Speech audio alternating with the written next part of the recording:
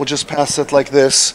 Uh, for the benefit of time, I will lead, let, let, um, uh, ask each one to uh, present themselves briefly. Uh, and uh, the reason I, uh, you know, when Lou and I were starting to think about the program, and with Rick, we were talking, we are saying, what, what are we going to choose? We really thought that this topic of opioids is so important, so just to kind of soak this in, that by the time we're done, five people are going to be dead. Okay, so seven, every seven minutes, someone dies from an opioid overdose. So I want to thank the brave few that are here because you're the right type of people that need to be here. And the rest that are, so you can give yourself, you know, a hand, you know, hand for being this. This is important stuff. And that is why uh, these companies that are actually using DLT to solve the opioid uh, epidemic are so important. So I want to thank the panel that came and uh, for you being here listening to this important topic. So Steve, let's start with you. All right. Uh, my name is Steve Huff. I'm the CEO of a company called Preventum, and we're in preventative health. So we focus uh, primarily with a platform that incentivizes uh, millions of people to engage in public health campaigns. Uh, so whether that be obesity or uh, violence against women or smoking cessation, and we've been working quite, uh, quite a lot in the opioid crisis. And we've launched a program with a nonprofit called the Preventum Initiative, and next you'll hear from uh, Jackie on the next panel. But we've uh, partnered with them to launch a program called FIND, which is a uh, drug education program for 14 to 19 year olds.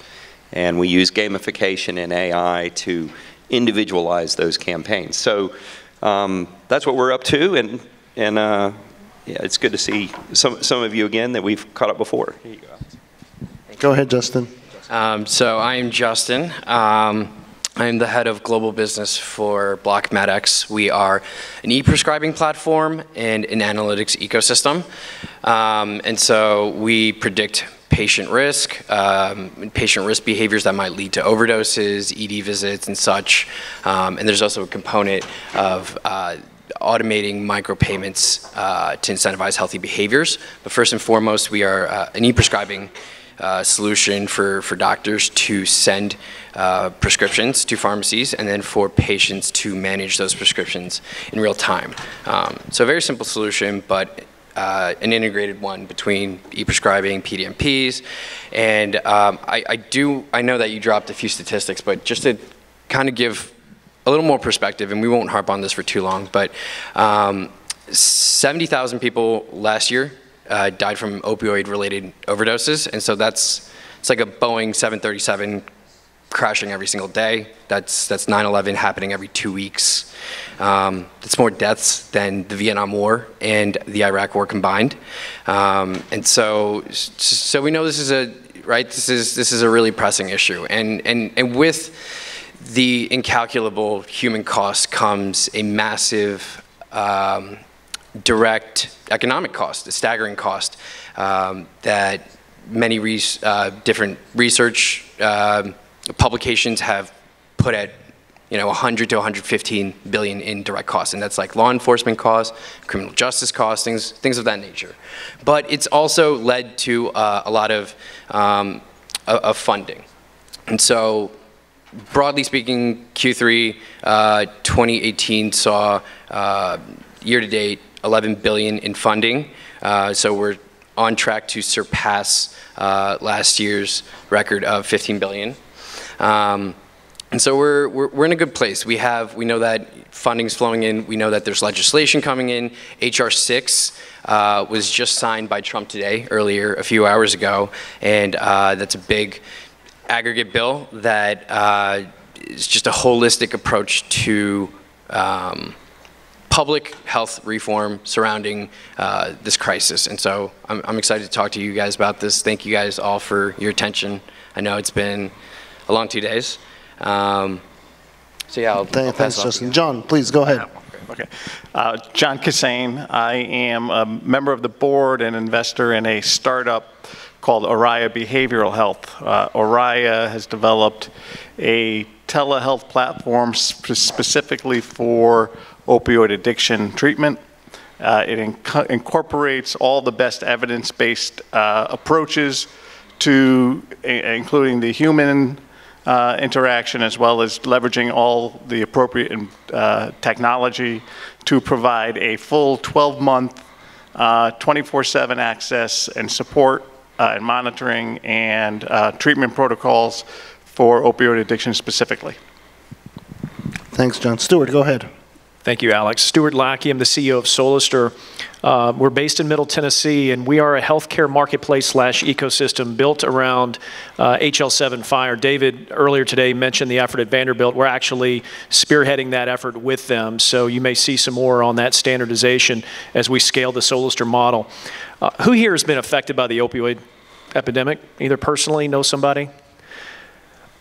My father's an opioid addict in recovery. And this subject is near and dear to my heart. And we feel at Solister that this is one of the greatest use case opportunities to actually make a difference um, in healthcare. Uh, we all know the statistics how healthcare is broken, but what I like to talk about when we do discussions like this is like, okay, what's really going to fix healthcare? And the legacy question, yes, are people willing to give up some some power to get there?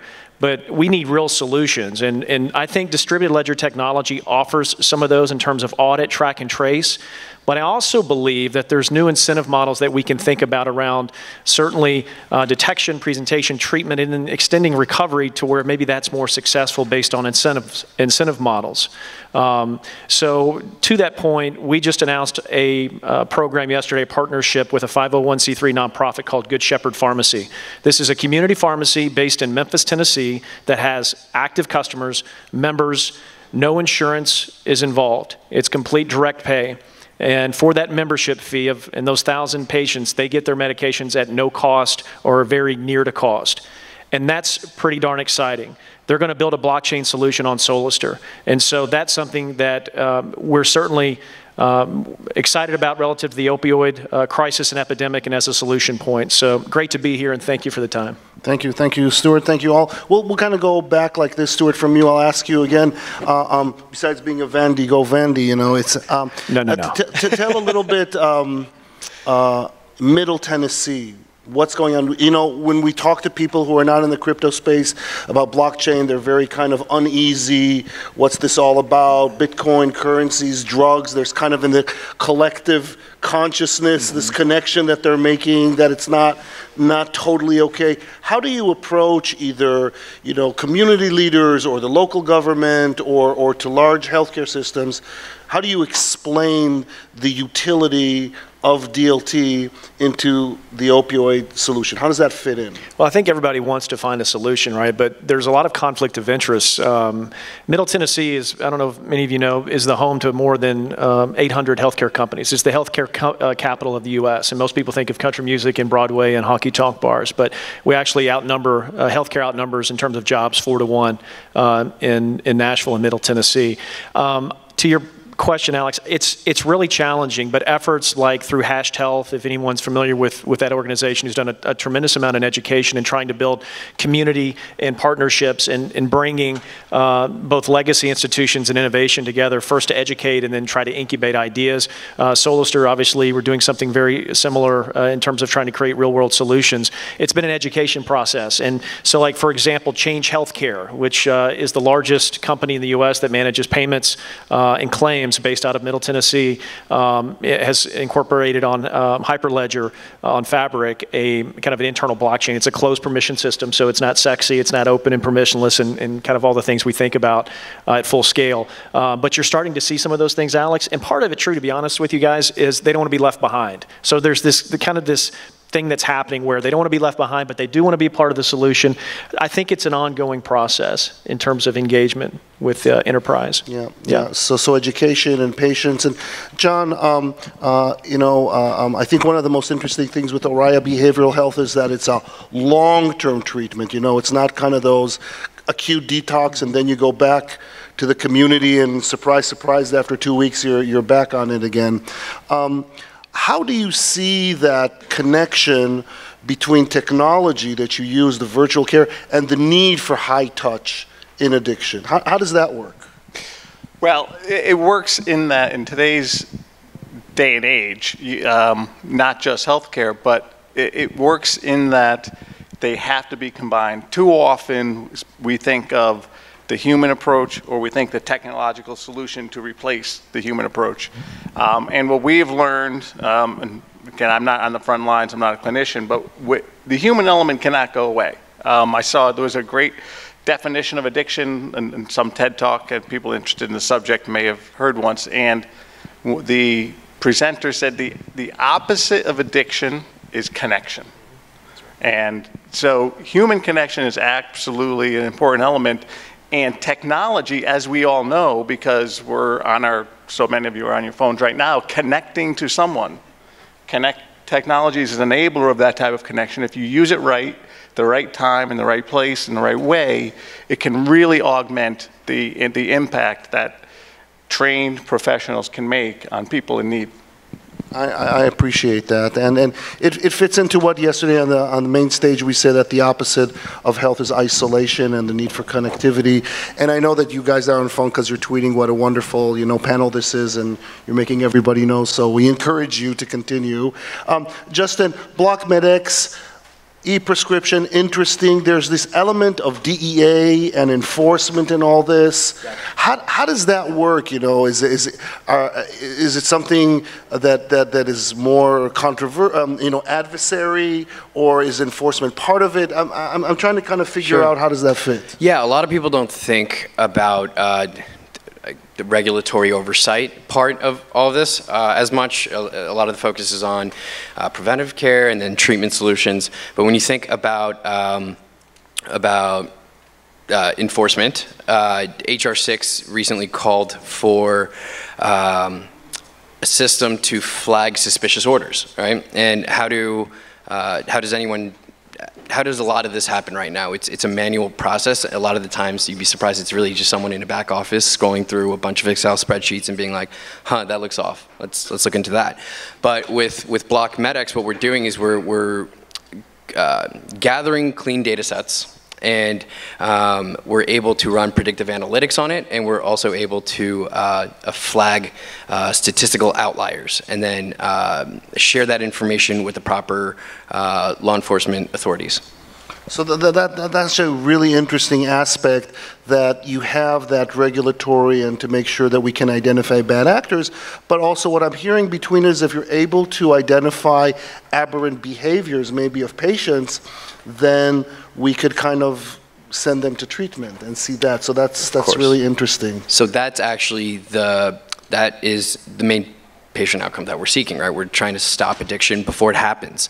And the powerful thing about machine learning um, is if you have quality data sets, um, you, you can predict these behaviors, these patient risk behaviors, and uh, stop ED visits, stop hospitalizations long before they occur. We often forget that a lot of patients who become addicted, they're, they're not malicious bad actors, they're not junkies, um, they're, they're just they're people who are taking the pills that were prescribed to them, and then after a certain threshold, they become addicted. And um, most don't even know that they're addicted until it's, it's far too late. Uh, th- That's really great. Thanks, thanks so much. And Steve, you know, first of all, thank you for coming and the whole Preventum team all the way from Australia, so I don't want to even imagine what time zone you're in. But talking about that engagement and stigma that has to do with this, uh, you know, really what you're doing with FEND and, and, and involving young people into this. Tell us a little bit about how do you uh, um, include folks kind of join your ecosystem? So it's it's really interesting. I had a I met with a, a blockchain company in uh, Melbourne, Australia recently, and they had I think they had done a thirty million dollar ICO last year. And uh, one of the things that the CEO was saying to me is, "Well, how do you how do you get customers?" and I thought, "Really? you didn't figure out your customer acquisition model before you did an ICO?" Um, and so that's a whole different discussion about getting your business model straight. But in terms of engagement, one of the things that we know is we, we like to think of it as using the same tactics that uh, big pharma or big tobacco would use in terms of uh, understanding their audience and speaking to their audience. And a great example of uh, a group that's done this is Truth Campaign with smoking cessation. Uh, and now they're doing some great work in, around opioids as well, engaging youth. And one of the things we try to use is that same, those same marketing techniques. So for us, um, those three marketing messages that we, we all know when we're out selling, you know, first of all is um, the altruistic message.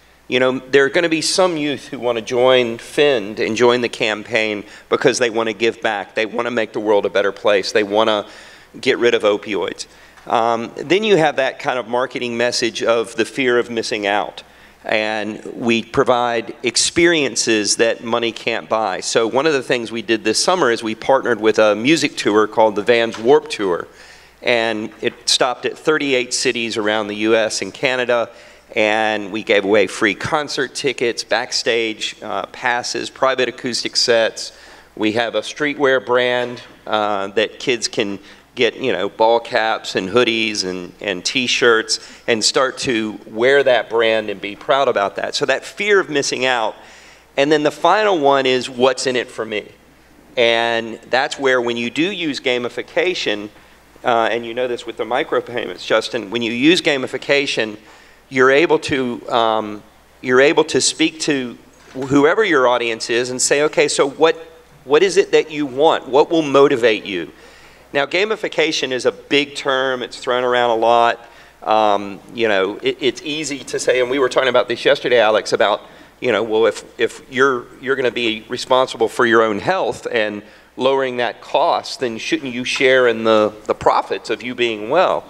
And that's a great motivator. Uh, but on a small scale in prevention, gamification can be powerful, and we can answer that question, what is, what's in it for me? It's not only, though, providing free concert tickets or free swag or a chance to win a free iPad or Amazon gift cards.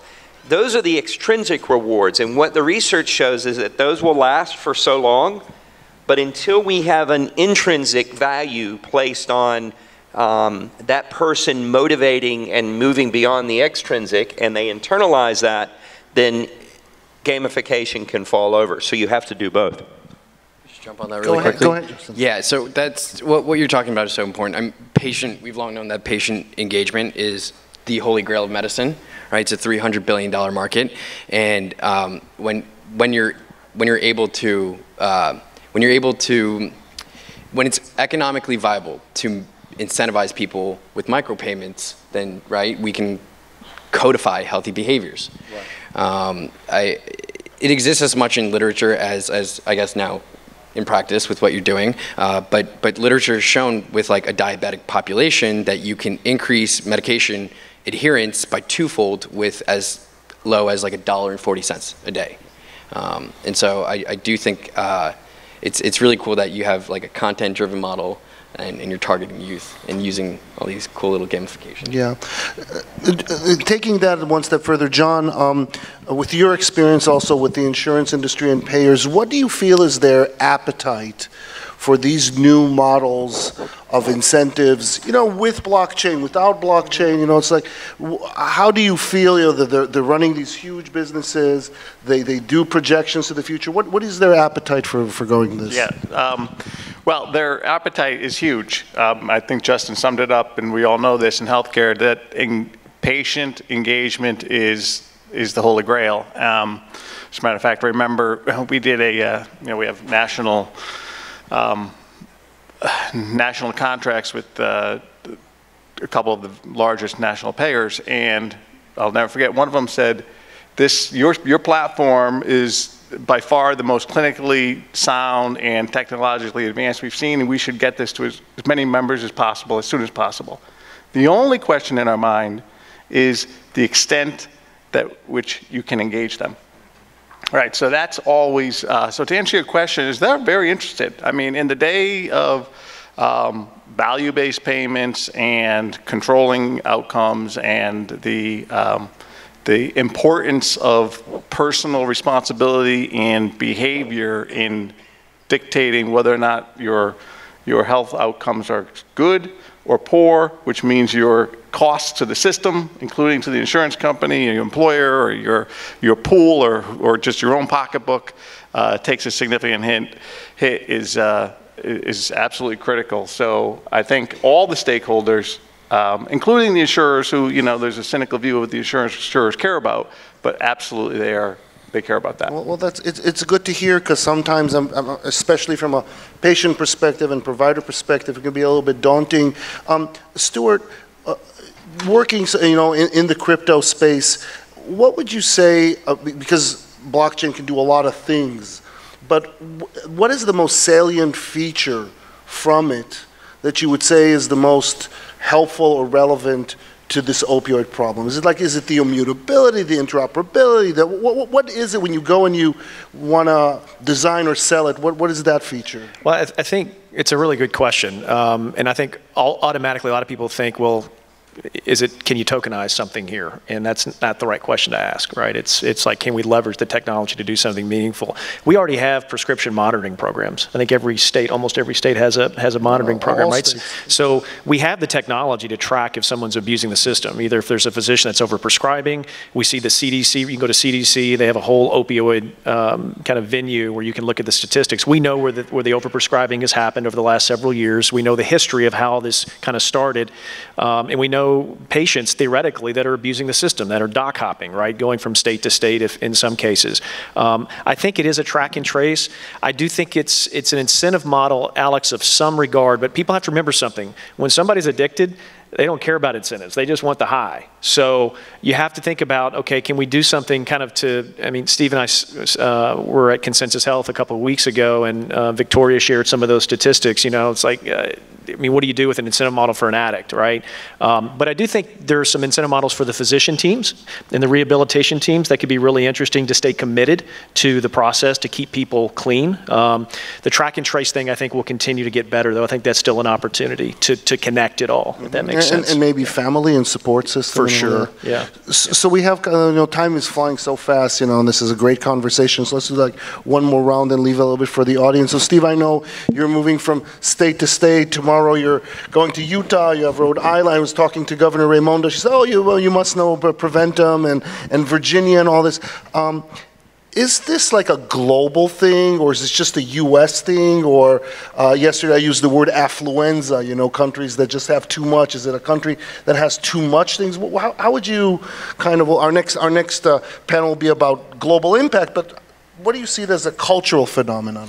Well, I think it, you know, the U.S. loves to do it, do it big, don't we? I mean, uh, you know, I, I'm originally from North Carolina, but I've been living the last 20 years in Australia, and Australia is a great country to look at things like health systems and, and social impact, and, and because it's such a small population, I mean, we only have 25 million people, uh, but it has a lot of problems as well. And we've just now had our big 60-minute special, like uh, we've had here in the States a couple of years ago, talking about the rise of fentanyl overdoses in Australia and how that's now going to pass the uh, ice and methamphetamine overdose and, and, and addiction. And it's scary. Um, and so I think there is a cultural thing here, and we're, we're trying to get to the bottom of this. Part of what we're trying to do with FIND is just basic education. When we started FIND and we did some early research with high schoolers and, and, and asked basic questions like, well, what is an opioid? You know, what happens if, you know, you're, you're drinking a beer at a party and someone gives you an oxy? Um, and fentanyl was considered a party drug. And this is scary stuff. And so this is not like weed or some of the other things. So the other thing we wanted to do is make sure that we're not preaching. Because this is not about us. You know, this is, and this is the whole, the whole argument with blockchain too, is that it becomes a ground up uh, a movement, and that's what we're trying to create. Uh, so I think the social impact is, and I, and I hope the panel uh, next can talk about that, and I think it's huge, but I don't think it's just a problem that's limited to the U.S., but we definitely have made it a, we've perfected it. Well, briefly, briefly, Justin, is it a generational thing?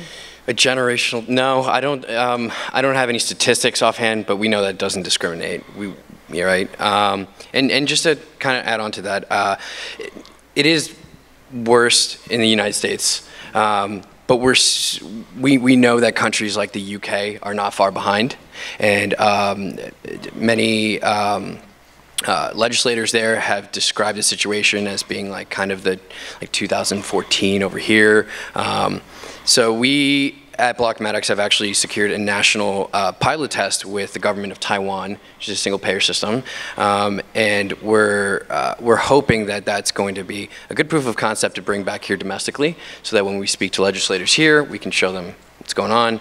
Um, and then just one more thing to add to what Stuart said about uh, the most important part of what can blockchain do, right? Everyone knows that blockchain is inherently more secure, uh, but that's really important for something for services like like EHRs and, and e-prescribing platforms. Last year, uh, Allscripts went down in January, and uh, a lot of hosted sites couldn't access these resources uh, for for days for a forty thousand dollar ransom. You know. Yep. Okay. Uh, our time is almost up. Anyone from the audience want to ask our panel something? Yes.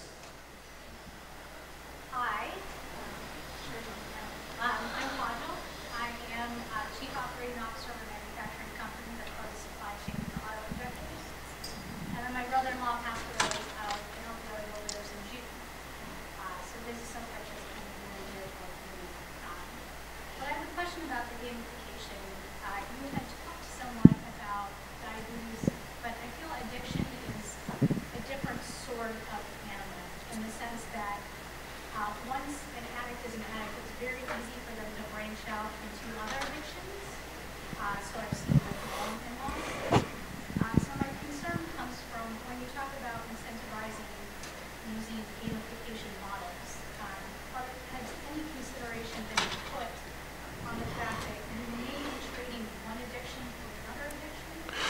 So, so the question, just for the sake of it's taken on video and briefly, and we'll, we'll finish with that. First of all, condolences for your loss, and, and every time we hear it, it just chagrins us, and thank you for sharing. Uh, um, uh, the question was about gamification and how specific and special it can be for addiction, so. Uh, I jump in real quick? Yeah. yeah. Um, in looking at that question, it's a great question. I think it's um, important for all of us to understand that addiction is a very broad and universal issue with all of us. And um, you, in hearing from lots of addicts, opioid addicts, addicts uh, in particular, um, but addicts of all types, they oftentimes in recovery trade one addiction for another. And that is how they actually recover. Um, and only in a state of health and clarity while having a, an addiction maybe to coffee or maybe to working out or maybe to lots of other things can they move themselves to a more balanced and healthy lifestyle. Um, but I think you're absolutely right that tra trading one addiction for another is absolutely part of it. On the Araya platform, we see that um, in, in the, the outreach to people. Um, we see some people become addicted to their therapists. So that can happen. Um, so it's not necessarily a bad thing, is I guess is a, in a nutshell. Um, it's how you transition people to you know staying alive and, and living a fulfilled life. And and I'll just add. Um, one of the, the, the, big challenges, of course, you know, the, the opioid crisis, if we look at the three kind of big areas that we're, we're addressing, is prevention, treatment, and recovery. Um, in prevention, gamification, and particularly in injury prevention, and Jackie, who will be up next, is, is really the global thought leader on using gamification and injury prevention, and her research has been around that. Um, that's, that's actually proven to work, and there's some great outcomes you can get with education and prevention. In terms of treatment and recovery, uh, with recovery, there have been some some, there's been work around things like contingency management uh, for other types of addiction, uh, cocaine, alcohol abuse, and addiction. And there is some exploration in looking at opioids right now and opioid addicts using a theory called contingency management, which is using a type of gamification, but it, it reinforces the behaviors in that recovery and treatment plan. Going to counseling, uh, attending family th therapy sessions, uh, showing up to work on time, clean and sober, uh, all of those types of activities as a part of uh, recovery. Th- There is some early research now happening, and I know Consensus is doing some cool stuff around that as well. Great. Well, listen, thank you so much. Thank you for the panel. And uh,